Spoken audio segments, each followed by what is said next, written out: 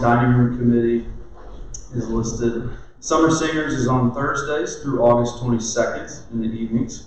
Um, practice is at the Methodist Church, and the concert is on August 25th at 3 p.m everyone is welcome to join.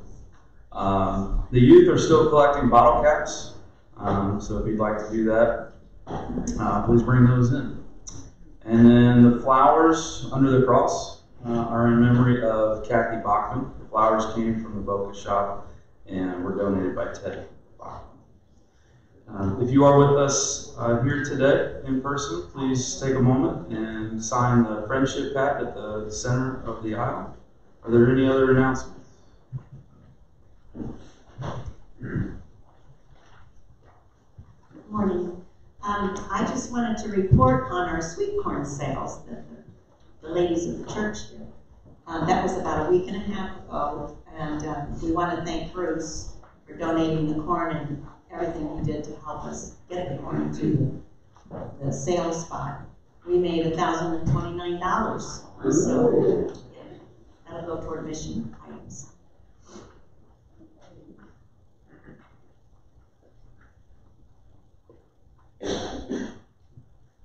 There's kind of a, uh, Thursday, we won't be practicing at Methodist Church, we're gonna be at Maple Park, that's our dress rehearsal. And there's about ten of us from this church in the Summer Singers, once, and then the concert's at three at Methodist Church.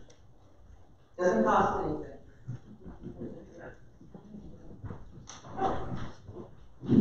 Friday, the lunch will be at the golf club at eleven thirty.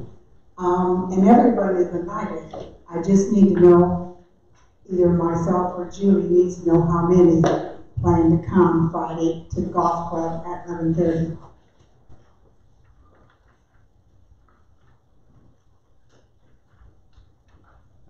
If there are no other announcements, please join me in worshiping our Lord. If God is for us, who is against us? God who gave us the Son now gives us the Spirit and power. One is in our midst, equipping us for life in the service of Christ. In Christ we are more than conquerors, for nothing in creation can separate us from the love of God. May the all-surpassing grace of our Lord Jesus Christ, the unshakable love of God, and the joyous communion of the Holy Spirit be with you. Let us worship God together. If you're able, please stand and turn your hymnals to number 476, O Worship the King, All Glorious Above.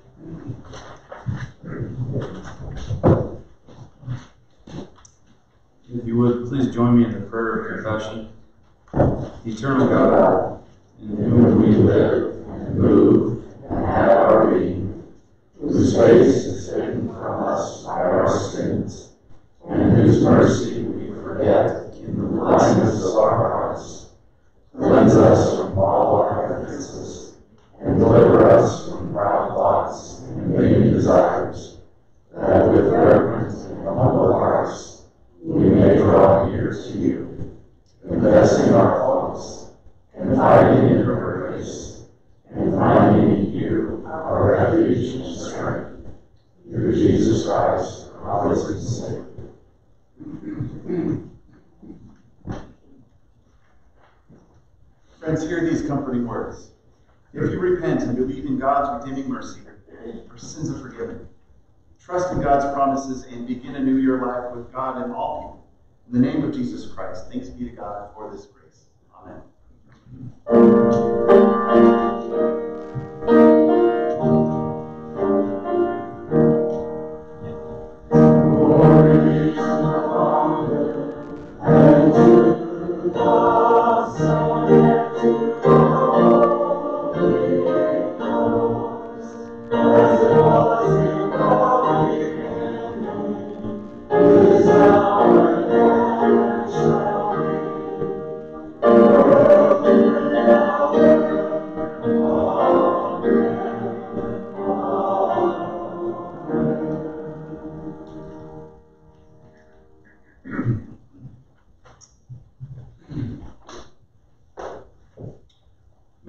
Christ be with you. And also with you. Please pass the peace of Christ to one another.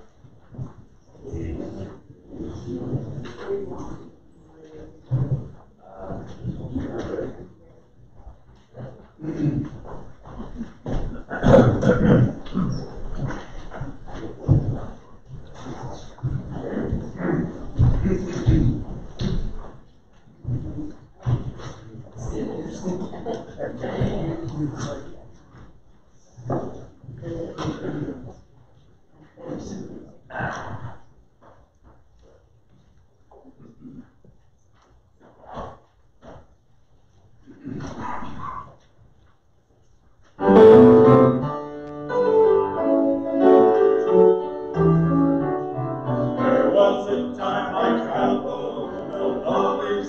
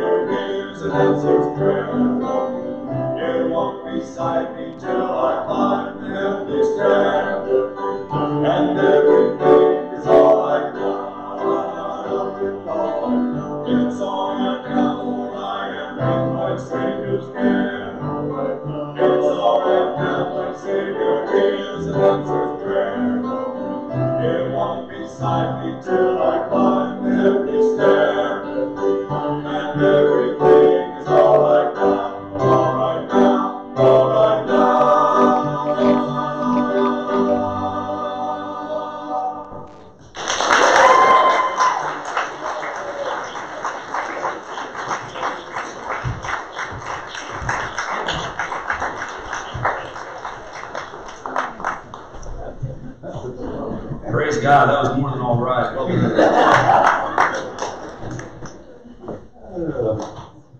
Um, Our first scripture lesson today um, is from 1 Kings chapter 3, verse 3 through 14. If you're following along in the Pew Bible, that's on page 305.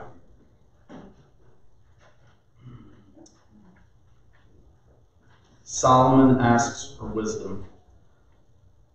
Solomon loved the Lord, walking the statues of his father David. Only he sacrificed and offered incense at the high places. The king went to Gibeon to sacrifice there, for that was the principal high place. Solomon used to offer a thousand burnt offerings on that altar. At Gibeon, the Lord appeared to Solomon in a dreamy by night. And God said, Ask what I should give you. And Solomon said, You have shown great and steadfast love to your servant, my father David, because he walked before you in faithfulness, in righteousness, and in uprightness of heart towards you. And you have kept for him this great and steadfast love, and have given him a son to sit on his throne today. And now, O Lord my God, you have made your servant king in place of my father David. Although I am only a little child, I do not know how to go out or come in. And your servant is in the midst of the people whom you have chosen, a great people, so numerous they cannot be numbered or counted. Give your servant, therefore, an understanding mind to govern your people, able to discern between good and evil. For who can govern this, your great people? It pleased the Lord that Solomon had asked this. God said to him, Because you have asked this, and have not asked for yourself long life, or riches, or for the life of your enemies, but have asked for yourself understanding to discern what is right, I now do according to your word. Indeed, I give you a wise and discerning mind. No one like you has been before you, and no one like you shall arise after you. I give you also what you have not asked, both riches and honor all your life. No other king shall compare with you. If you will walk in my ways, keeping my statutes and my commandments, as your father David walked, then I will lengthen your life. The word of the Lord.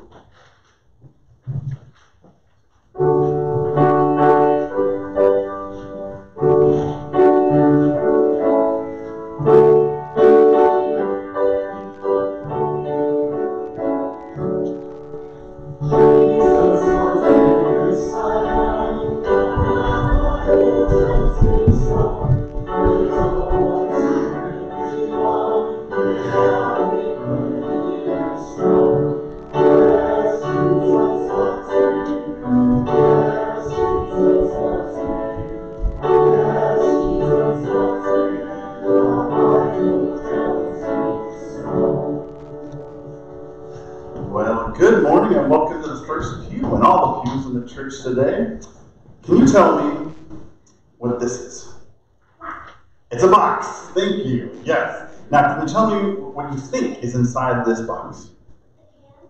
A can. Of what? Tomato sauce. we do have some tomato sauce. It, it might be noodles. Spaghetti. Oh, you guys are making me hungry. Uh, this, is, this is. So there could be many different things. Okay. Super Mario. Wow. Yeah, this would be great. Uh, now, so why are you guessing those things uh, that might be in this box? Because Super Mario spaghetti. I like that. well, now, why do you think that it's so hard to guess what's inside the box? Because you can't see it. Right. Oh, that's exactly. Uh, so in today's story, we will hear about an apostle. An apostle is somebody who has learned from Jesus and then teaches others what they have learned from Jesus. And this apostle, Paul, is in Athens, uh, Greece, in today's story. Now, while he's there, he sees this monument like a statue, and it says, to the unknown God. Now, what that means is that the Greeks were honoring any God who existed, but they didn't know about yet. Okay, so Paul uses their curiosity and respect about the unknown to tell them about the God we know. And the God who created everything that we know. The God who gave life to all that's living. So Paul tells them that we are sons and daughters of this God and that we belong to God. God cares about us and about what we do. So a little bit later in the story, we hear that some of the Greeks laughed at what Paul had said and didn't believe him. Other Greeks said, We'd like to talk to you some more about this God. And most importantly, there were some Greeks who believed what Paul said. So it's like some of the Greeks chose to receive a gift from Paul, but actually, it's more like Paul unwrapped the gift so that the people in Athens could see what's inside of it. So Paul unwrapped the gift. It's not spaghetti. So it's, it's candy, yes. Here. Okay. and there were new things for the people to learn about and receive that they could then share with others. So if, as we look inside this gift box, let's see if there's something for you to receive and share with others. So here's this candy. All right. Now, why that isn't new information, it's definitely something we can receive and share with others. So after we pray, we're going to do that. Uh, let's have each of you take a piece for yourself, and then take some pieces to share and pass as you head on out. People on down, maybe they want some candy too. And if they don't, they can just put it back on the, on the seat or whatever. uh, and as we do that, let's remember the good news of today's story. In the same way Paul helped the Greeks in Athens know more about God, we too can help others know about God, even better than we do. So let's pray. Uh, dear God, thank you that learning about you is like receiving a gift that we can then share with those around us. Thank you and amen. All right. One for you, and then find for somebody else.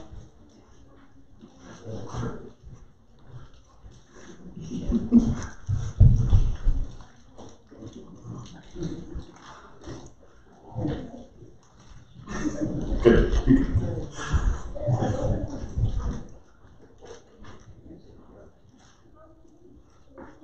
Good practice.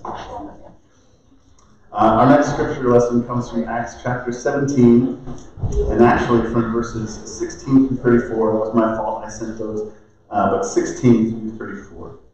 And this is Paul in Athens. While Paul was waiting for them in Athens, he was deeply distressed to see that the city was full of idols. So he argued in the synagogue with the Jews and the devout persons, and also in the marketplace every day with those who happened to be there. Also, some Epicurean and Stoic philosophers debated with him. Some said, What does this babbler want to say? Others said, He seems to be a proclaimer of foreign divinities. This was because he was telling the good news about Jesus and the resurrection. So they took him and brought him to the Areopagus and asked him, May we know what this new teaching is that you are presenting? It sounds rather strange to us, and so we would like to know what it means. Now, all the Athenians and the foreigners living there would spend their time in nothing but telling or hearing something new. Then Paul stood in front of the Areopagus and said, Athenians, I see how extremely religious you are in every way. For as I went through the city and looked carefully at the objects of your worship, I found among them an altar with the inscription, To an unknown God.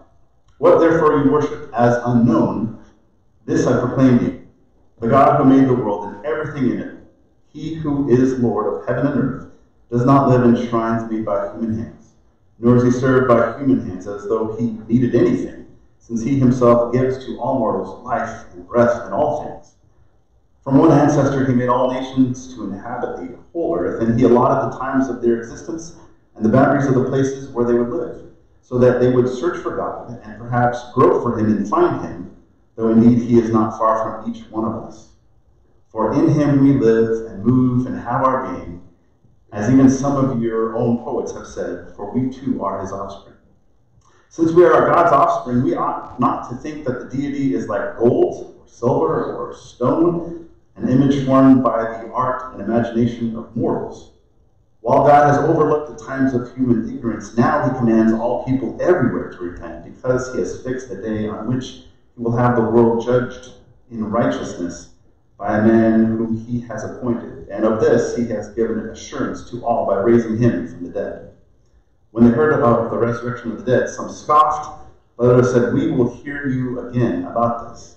At that point, Paul left them, but some of them joined him and became believers, including Dionysius the Areopagite and a woman named Damaris, and others with them. Now, archaeology can be fascinating to read about. Whether it is in the pictures and the pages of the National Geographic, which I grew up with around the house when I was young, or in books or on websites, especially since I don't have the opportunity to visit interesting places in person like that. I read about the site, an ancient, an ancient site uh, uh, called Petra, maybe you've heard of it. It is located in Jordan and has a rich and diverse ancient lineage. For the long stretch of time, it was the home of the Nabatean people, renowned merchants and traders in a place that was at the crossroads of the Near East.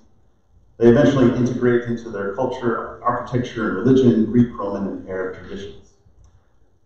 If you have only ever seen one image from Petra, it is likely that the facade called the Treasury, uh, facade called the Treasury, featured in the final scenes of the movie Indiana Jones and the Last Crusade. Uh, if you haven't seen it, recommend it. It's a lot of fun but standing in for an imagined ancient temple protecting the Holy Grail.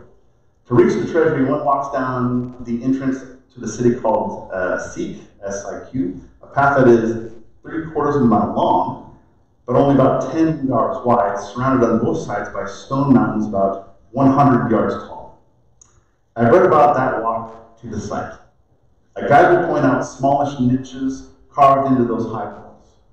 And those are where they will tell uh, a Nabatean god idol would have sat so, so that the travelers could make offerings to them as they entered the city. Of course, the idol itself was no longer in its place. Now, there's a museum next to the site where a lot of those ancient relics are on display. Nabatean god idol will take your breath away, and not on account of its beauty. It can best be described as a stone rectangle with some decorative carving around the edges but then a flat center where it looks like someone might have glued on two eyes, a rudimentary nose, and a mouth. It is what I would have been able to craft had you simply given me a slab of clay and parts from a Mr. Potato Head. Flat is the only way to describe it in both its form and its effect. Now, I wonder if it wasn't gods like this that the psalmist criticizes in Psalm 115 and elsewhere, where it says that they are idols with mouths that do not speak, eyes that do not see, and ears that do not hear. They were nothing in comparison to the God of Israel who dwells in the heavens, steadfast in love and faithfulness, active and powerful. The psalmist goes so far as to compare the one dimensional nature of the idol to the faulty character and faith of the idol makers. Now, of course, these Nabatean gods are also nothing compared to the statues and idols Paul encountered on his visit to and walk around Athens, another religiously and intellectually diverse meeting place of the ancient world. These idols are so renowned in their beauty that thousands of years later, you know, modern day, they have some of the places of highest honor in our museums. But it is a more simple and unassuming idol that Paul wants to speak to the Athenians about in our text this morning. Paul looks around and sees that the Athenians, uh, that Athens is covered in idols. That is a word that sounds so out of date as we keep talking about it. American Idol is a thing, of course, but outside of that, we don't have statue idols. It's a, a word from another time, like using, unfortunately, cassette tapes, or navigating your way on a, a paper map. You can still do it. Uh, or giving your child the name Percival. I'm so sorry if there's there. Uh, nobody does this anymore. A story about idols seems irrelevant, but it's worth a second look. There's a reason why it's in the Bible. We learn that Paul was not taken with the beauty of the Greek gods, and in fact is distressed at how many of them he encounters. In response, he spends most of his time in debate with both the faithful and the agnostic, the willing and the unwilling, sharing with them the good news of salvation, death, and resurrection of Jesus Christ. The Athenians, exhausted by his babbling, as they describe it to one another, ask him to come to the center of the city, the Areopagus, where people would gather to discuss new ideas, to better explain to them what in the world he was going on about. They want to know about this new religion he's talking about. Now, in Athens, they love talking about the newest idea. Like some folks need to have the newest iPhone or watch the newest movie. In, in Athens, they wanted to talk about the newest idea. Folks said Paul could tell them about a, a new God. They wanted to hear more. But don't assume that they held him in high esteem. They were there to challenge him as much as anything. And nothing would be so rewarding than if they heard Paul out and could show him to be a fool. If you are the kind who likes to argue for sport, you would have loved ancient Athens. Now, once Paul is in this honored public forum, he tries a completely different approach. He praises their religiosity, references their own faithfulness to the unknown God, and then goes on to speak of the expansiveness and authority of the creator of the universe. He reminds them that each of them, all human beings, are created to desire and experience and know God. He then offers to the Athenians what for him has become a profound and life transforming way to know this unknown God the knowledge of and experience of the life, death, and resurrection of Jesus Christ. New Testament scholar Bridgett Green has reflected on Paul's shift in his evangelistic movement at this moment. She says, Paul's approach in proclaiming the gospel to the Athenians is a testament to God's expansive plan. With an ethnographer's curiosity, he strives to connect with the community he visits, even in spaces of discomfort. Without condescension or berating, he uses a rhetorical strategy that resonates with his audience and respects their culture. Despite disagreeing with what he observes, he is neither dismissive nor patronizing. In his observation of something that was foreign to him, Paul discovers a purpose in the altar to an unknown God that enriches his anthropology and his theology. He is open to the transforming power of God's work in and through him while he labors in planting a word. Paul demonstrates God's generosity in the gifts of the gospel and the Holy Spirit. These gifts are accessible to all who seek God and the teachings of Jesus. They are for those who encounter the good news, the testimony and lived examples of believers. Paul invites the Athenians to contemplate their own experience of the divine, varied as they likely were, and invites them to consider his own personal testimony, his own personal experience of God through Jesus. Yes, Paul preaches about the unknown God, but his primary message is that this very same God wants to be known and is knowable by his creation. What Paul rightly sees in Athens is a conversation about what human beings are for. What's our purpose? Do we have a purpose? This is not a question that is limited to philosophers. It's a question that emerges, emerges uh, in adolescence as we begin to gain a sense of the size of the world and our own insignificance. Do I matter? More than a few citizens of Athens believe that human life holds no ultimate purpose. Many argue the same today. They say we are accidents of birth with no real meaning or calling. Archaeologists have discovered a common inscription on graves in ancient Athens that reads, I was not, I was, I am not, I do not care. Uh, that is to say, I existed for a while, but it was meaningless. I can't care if life has no purpose. This may be a reason Athens was filled with gods. They were searching for something. The practice of idolatry, the creation of statues or other objects of worship, I don't know anybody who does that anymore, but I do think that the internal mental process that led to idolatry is as relevant today as ever. Think about this. Why would someone create an idol to or create an object to worship? The only reason anyone would God is to have that God take care of you, to protect you, or to make you prosperous.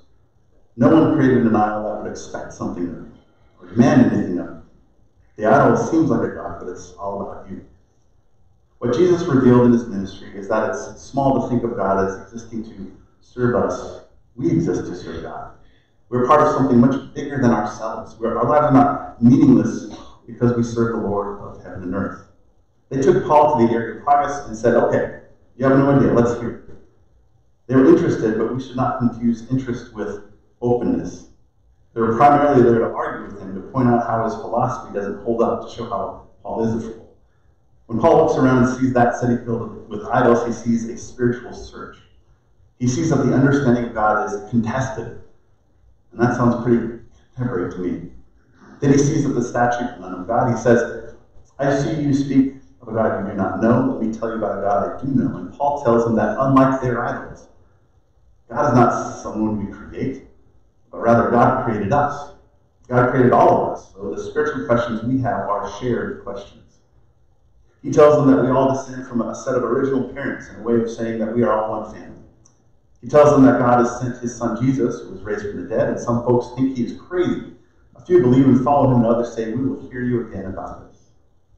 Now, when Paul describes Jesus, Paul isn't describing him as one who comes in love, or one who teaches, or as one who heals, or as one who lifts up the lowly and oppressed. No, not any of this in this instance. Paul says Jesus comes to judge us all. And that's it. He, he comes to judge. Now, what would make folks say, hmm, I want to hear more about this Jesus who comes to judge?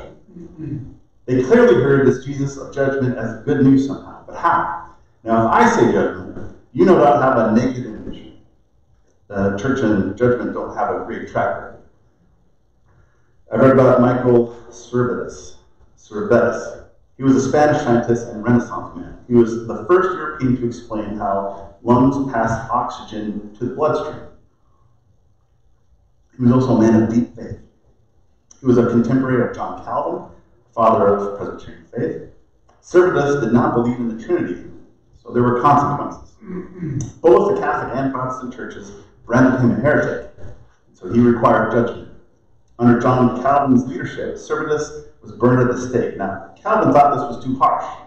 He thought Servetus, Servetus should be extended mercy and simply shot. But the council overruled Calvin and he was burned at the stake. So the church has made some progress. We don't do that anymore. But too many have experienced the judgment of the church, not as grace, but as pain. Women can speak to that. The poor can speak to that. Various and many communities we all know about can speak to that. There are many who have found the way to churches in our world, bringing with them memories of having been condemned by the church. Such injuries are not easy to set aside. So, why did people want to hear Paul talk about judgment? If I understand it, the judgment of which Paul speaks is different from what I have been describing. Uh, one woman said that her daughter, after a difficult incident in their home, of which the mom has said that there are many, I believe her, was sitting under the table. His daughter was in a huff, and she simply said, I don't like consequences. Now, I get that. So there are two kinds of consequences. There are the consequences that are imposed, and there are the consequences that simply result. The consequences that are imposed are the go to your room consequences. You did something, you got caught, punishment is imposed. I think uh, most folks think of judgment like that. It's imposed. You get caught, you go to your room. But the judgment of God is more like the consequences that result. If I only eat ice cream and the only exercise I get is working the ice cream scoop, my health declines. It happens. If I'm never kind and always grumpy, my relationships suffer. If I, do, if I do not study for my exams, we'll just start it, my grade suffers. It happens. My teacher is my judge. Now, here's the thing my teacher does not impose my grade on me, I make my own grade. My teacher reveals the truth of my grade. The judgment is not imposed, it results from my choices.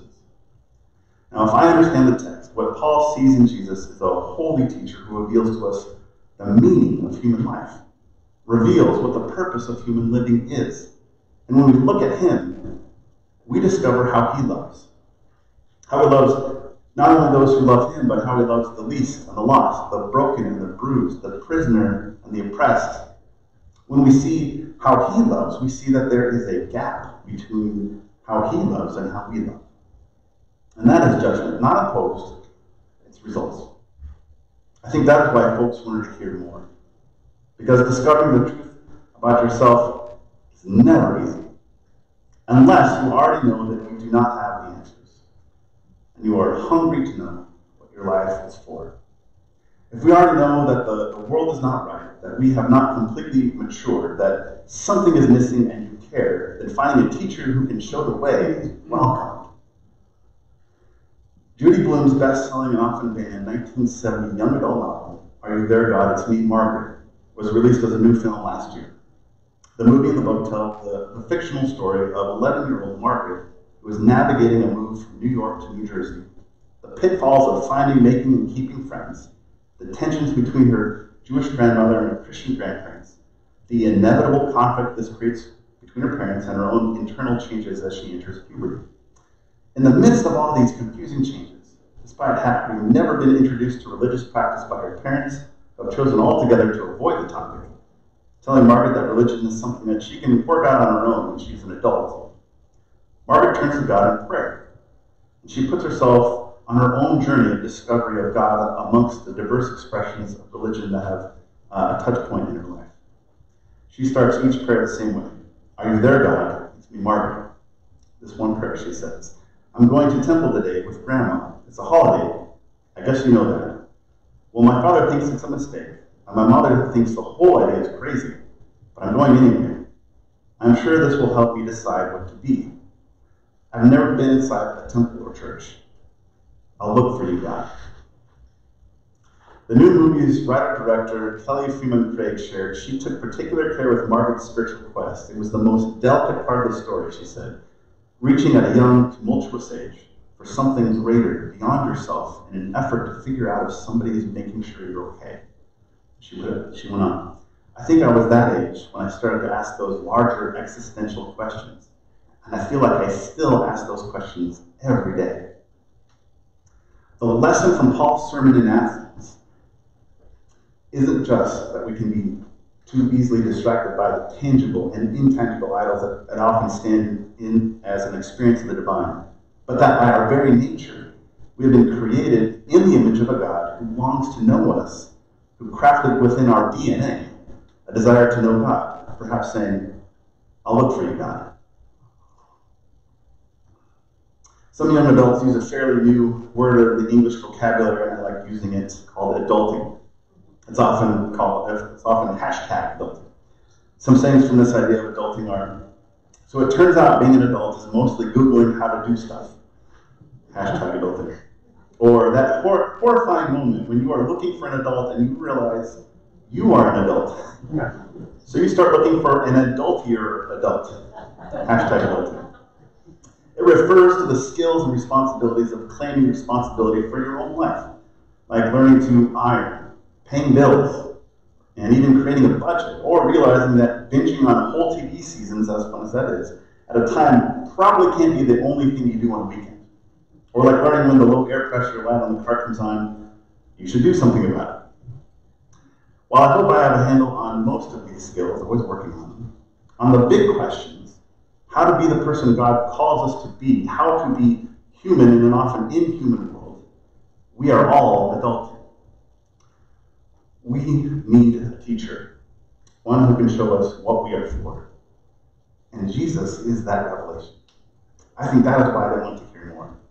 When you know you don't have all the answers, when you know that you haven't fully matured, when you know that you haven't figured out who to be in every circumstance, and you know that who you are has consequences, you would give anything to have someone give you the truth, to show you the way, to give you that wisdom.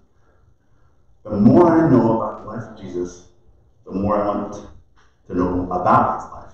And the more I know about him, the more I understand what I am for. I think that is why I said, we will hear you about this again.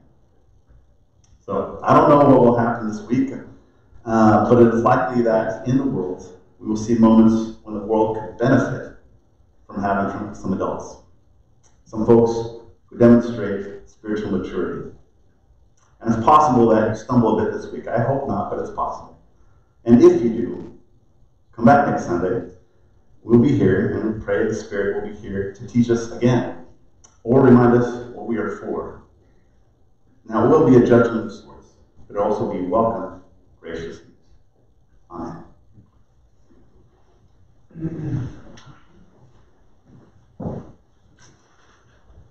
Our next hymn is hymn number 319, Spirit. Please stand we sing.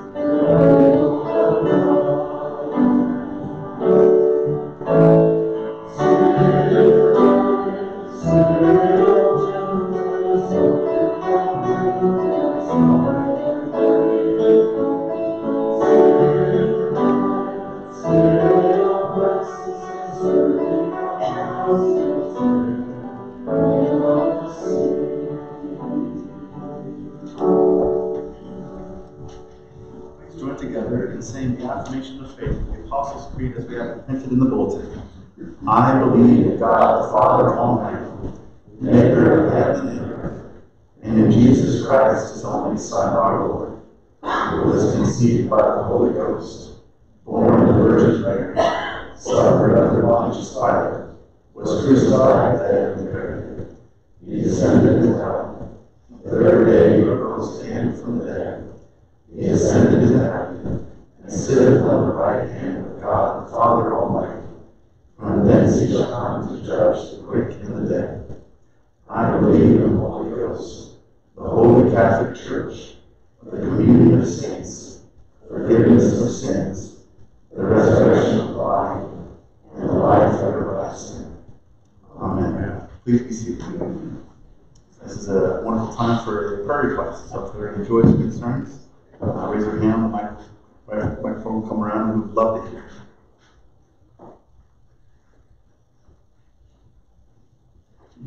I have one. Um, my sister Janet was in an auto accident this week on Thursday. In a way, she was lucky, but she has broken, she has fractures in her neck, ribs, pelvis, leg, ankle, but she has no internal injuries and no head injury. Long recovery ahead, but her attitude is good, and um, she's in the um, trauma hospital in Fort Wayne, Indiana, so she's where she needs to be.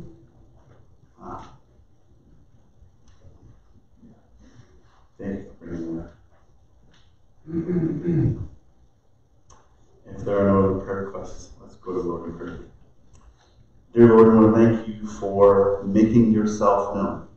For those that um, might still in their way worship an unknown God, we pray for the words that they might be able to hear from uh, word from others that might be able to share their experience of a known God, uh, of Jesus and the ways you have made known in Scripture and in our lives. We want to thank you. I thank you for powerful testimonies and the testimonies that are powerful that we also have. And we pray we might be able to see you in our lives and be able to share that with one another here in the church and also in our lives outside these walls. Uh, thank you for that opportunity um, and the adventure of doing that in this world. And we pray that you might be able to continue to give us uh, your words, that we might be able to speak those uh, into situations and relationships around us, um, so, so that your word will, will be known.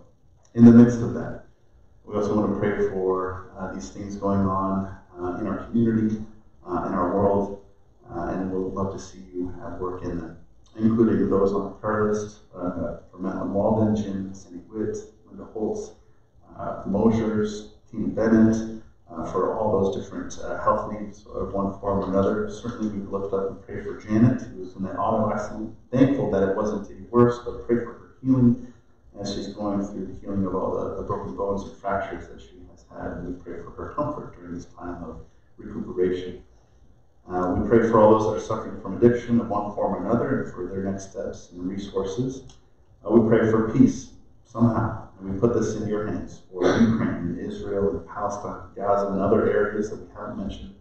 We do pray for the peacemakers and for those ways forward that they might be able to have, and that we might be able to see sooner than later um, an ending of the conflicts in, the, in those regions and a, a building up instead of a tearing down and destruction. Lord, we want to also pray for the events in our church, uh, for the summer singers as they're doing their, practice concert and concert coming up. Thank you for that wonderful program and the ways that they are able to sing your praises and also to do this in places that will uh, benefit others. Uh, we pray for the continuing kind of collection of um, uh, bottle caps and the things that are going on. Thank you for the flowers this morning in the memory of Kathy Bachman. We pray for the events leading up this week for ladies' lunch on, um, at the golf course on, on, on, Friday, and for all the events also that aren't listed, that we might be able to um, be your people in those situations and be inviting and welcoming to any who would come through uh, our church and also into our lives. We thank you for opportunities to be with our families uh, this summer. And also now that we've started school, Lord, we pray for the school year, for all the students, all the parents, all those that are involved with the education process, for the teachers, uh, for the administrators, the, the support staff, all those who are involved in the buildings and um, transportation. We pray for the buses, uh, for the entire system. We are so grateful for our education system. We pray for safety for all involved, for inspiration, uh, for the ways that uh, many of us have been um, have benefited from the education and the socialization and the different ways that we grew up and matured in, in, in school. We pray that for the students that are doing that now, and that they may be able to uh, enjoy and get out of this education all the things that they need and, and want and make it enjoyable. So we thank you for that. We pray for that, not just for our community, but the communities around us and the communities in our country and around the world. Um, thank you. We also want to lift up any and all prayer requests we haven't heard out loud in those situations, even as we think about those now or have emotions that go along with situations. We pray that we might be able to present these before you, to see what work in those lives and in those situations and relationships and in our own as we do this. Thank you that we could come to you as a congregation together, uh, as individuals in our own quiet times and also as families. Uh, and we pray that we might be able to uh, have the courage to speak in those situations when you give us the words or just to, to be in those situations. Uh, thank you for your spirit and your spirit go before us into those areas. Lord, we also want to pray the prayer that you, you taught your disciples to pray by saying, Our Father, who art in heaven, hallowed be thy name. Thy kingdom come, thy will be done, on earth as it is in heaven.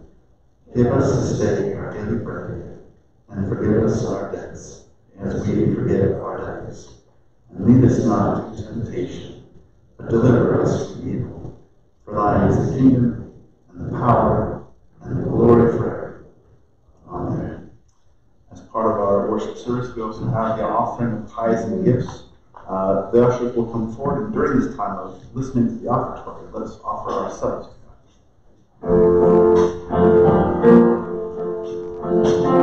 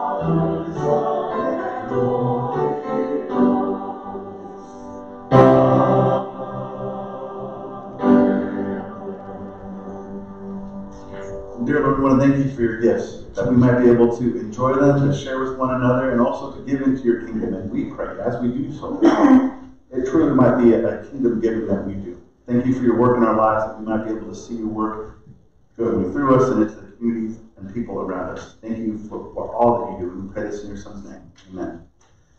Our next hymn is hymn number 288, I Sing the Mighty Power of God.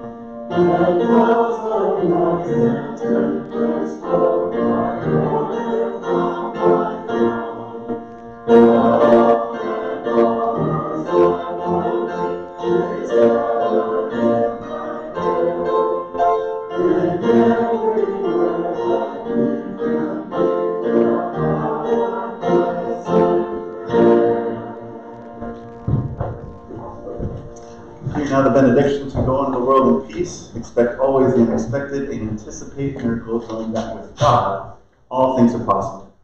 Grace of our Lord Jesus Christ, the love of God, and the fellowship of the Holy Spirit be with us both this day and always. Amen.